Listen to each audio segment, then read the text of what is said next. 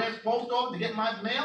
Y'all got to stop this. It's, it's, it's your fault too. It's just not the characters. So I'm just saying, when we have a problem in, in this development that we have, how dare you tell me that you can't come to a meeting? Who do y'all think you are? If the problems are that bad, when we have five or six thousand people that live in that place, and you're gonna tell me that you can't show up, who do you think you are? Tell me. First of all, I'm, I'm, I'm not understanding what, You understand exactly what I I said. do not on. understand what understand what I said?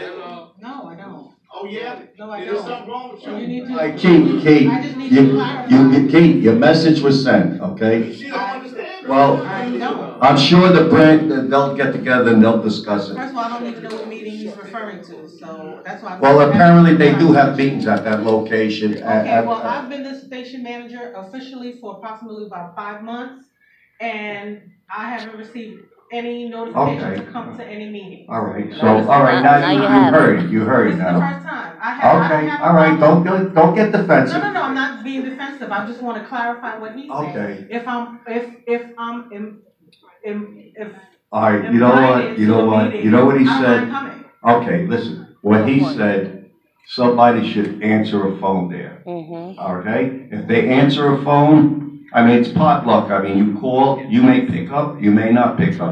But somebody should be dedicated to answering a phone there. Because I have called and rang and rang and rang, but, you know, Mhm. I go over to you people. Okay, all right, Keith? That, well, Keith, we do the best we can, don't do the best we can. Let's see if there's improvement, Keith. Okay, Andrea, go ahead. Um, I live at seven eighty Pelham Parkway, Route twenty-eight. Um, my first complaint is when you call Parkchester, if you're lucky, somebody answers the phone. Generally, they don't, and when they do, They they don't are answer the phone. exceedingly nasty. Yes. There, there's no reason to be nasty when you get on the phone. Okay, that's the first complaint. My regular carrier is superb, I have no problem with her. However, I can't tell you how many times I, we, the entire building has gotten seven eighty-twos mailed as opposed to seven eighty. In every box, because it's the same, well, you know, it looks exactly the same, so A one, you know, got A, A one's mailed for seven eighty-two. Then I call the postal police because that's a federal offense. I mean, your people do not read. I mean, it's an entire building. This goes on every time the carrier's on vacation. It's not acceptable. So what I would do, um, I will speak to the area manager in reference to that and the manager. You But what we can't- can do- Excuse me, how you can speak to a manager when nobody picks up the phone Well, Go I pick it will up for speak her. with them.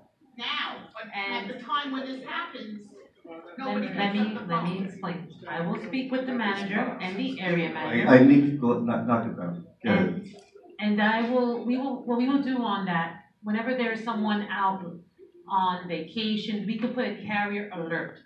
A carrier alert on the route, especially if it's, um, an address like that, the seven eighty or seven eighty-two, where it's easily confused because the apartment numbers are the same sequence. We could put a carrier route Zero alert and on two, it, two different and the numbers. Supervisors can verify the mail before they tie it down to go out to the street that it's in the right order. And they can also do spot checks and go and visit the location to make sure that they are putting the mail in the correct boxes and check up behind the, the carriers who are covering So my behind people. point is that they're only putting it by apartment, they're absolutely not reading. No, I understand what you're They're saying. not reading the names even on the box. So that's why we will do a, um, more like a quality control check Put this in on writing. that. We'll Put do in more writing. quality control. Okay, thank you. Right over here, Obi. Obey. Tony, Tony had a question, Yeah, he's hey. the only one contacted. So I'm gonna ask his question for him. Actually, I have two questions. Um, appointments for passports. All post offices should have, a- you can be able to make appointments, not all of them, you can make an appointment. That's an issue. We're in twenty eighteen. I should be able to make an appointment, go in within fifteen minutes, take care of my business and leave. I don't know why we don't do that at every single post office. It's sad that we don't do it. The second piece, uh, situational awareness with the delivery uh, folks. They're listening to their headphones, they're talking on the phone, they're not paying attention. Exactly. My wife was locked into the house and she wanted to get out of the house. She was knocking and pounding, I was on the phone with her, and I was watching on the Nice. camera, I'm like, he's right there, he's right on the other side of the door. He said, he's not answering. That's sad. That he is within two feet and he's not opening the door because the door was jammed. So there's an issue there. Situational awareness, we can use the extra set of eyes in our neighborhoods during business hours when we're not home. I'm not asking them to, to, you know, look out and start calling nine-one-one everywhere, but if people see that they're paying attention, they'll hesitate before they commit a crime, instead of being on their phone and their headphones. So that's, that's, those are the two issues that I have, hopefully. we and dressing properly. In reference to the passports, we have select locations, as you stated, that do passport appointments, and we have other locations that are open to the public to come in during specific hours, um, for their, um, passport needs. Um, that is not directed by us, that is done by the, um, the National Passport Department from the government, and they regulate that, that's not something regulated by the Postal Service, so we don't decide what location gets passport appointments and which one doesn't, that's done based on data. Okay, And well, there based was on one that I went to, the nine AM was the start of the passport services, I went there at nine, thinking I'd be the first one, there were ten people ahead of I me. had, um, Which is on- okay, but we waited from nine until nine fifteen, until that window opened up. And the person was just sitting there, we're watching her, all of us. The line was out the door now for Which passport. location is this? This is on West Street, I don't know which one it is. Uh, maybe Parkchester, I don't know. But I, I don't understand that part. We're sitting there looking at the woman, like, come on. We all need service here. Until nine fifteen, the window opened up. So we wasted fifteen minutes of people racking up in that post office to get passport services. That's fifteen valuable minutes. That line will never, you can never recover from those fifteen minutes for the rest of the day. Well, in a It's more than situation like 15 that, minutes. um, the area manager for that particular area, she can be, um, Jeannie will go back to her and notify her, and then they can have a meeting with the station manager, and this is the supervisor from that station. So they can have a meeting with them and let them know that their passport start at nine o'clock, that clerk should actually have already Can- been can you on speak that into the mic? window. Oh. I'm the supervisor, and I work in the morning with that. We do a soft opening every day because of the fact at eight thirty, and we also let them know that passport, passports are also open on Saturdays from nine to twelve, if they're not able to make it. Opening time is nine, my clerks are open at nine, but because of the heavy volume of everyone trying to get passports, we open at eight thirty, sometimes eight o'clock, and that's a courtesy because of the fact. Once we give out tickets, it becomes a problem, we give out tickets. Mm-hmm. Once the tickets are given out, then we tell everyone to come back the next day. Yeah, I, I didn't, I didn't get a ticket. I heard about the ticket thing. It was a Saturday, and I went there at nine. No tickets were given out. Because you was already there. If you were in the back, you get a ticket. You already there to be But waited it wasn't a on. problem to give tickets if you don't take care of people at nine o'clock. No, we take care of people at eight and eight thirty. I'm there to open up. Soft open at eight, eight thirty, Okay. yes.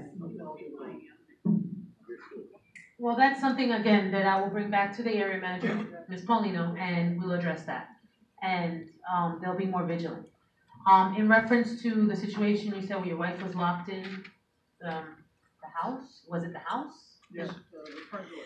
Well, I mean, and basically, yes, I agree with you. The carriers shouldn't be walking around with their headphones on both ears. We always say, if you are going to have a headphone, it has to be Shouldn't have one it in, one out. You can't have both on because that's a safety concern. You're crossing the street, God forbid, you get hit by a car. You know, you're not aware of your surroundings, and that's something that we preach to our carriers as well. And that's something that I will bring back to the district again, and we'll have to reissue that service talk because it's something that needs to be They done shouldn't because have we the enforce it in the headphones at station. all. Now, It's a when they're outside, they feel like no one's watching, so that's why they do it, but that's something that we'll bring back to them and See, we will they don't address even that. wear uniform, they don't, e- they dress like slobs now, Brian, no uniform. Hi, I live on Allerton and it's a mix of one oh four six seven and six nine. We have seniors there and especially during times like the holiday seasons, we were told that sometimes you hire temporary workers or part-time workers.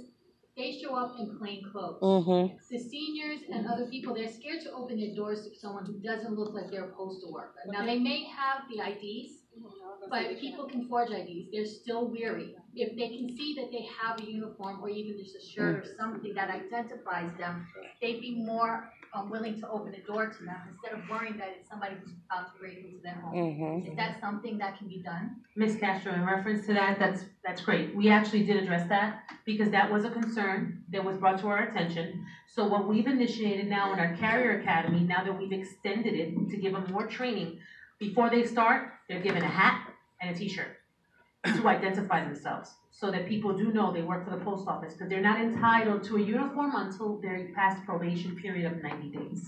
After they pass their probation period of ninety days, then they're entitled to get a uniform allowance to purchase uniforms. Thank you. All right, listen, uh, last one, uh, No, we'll be here all night. Microphone.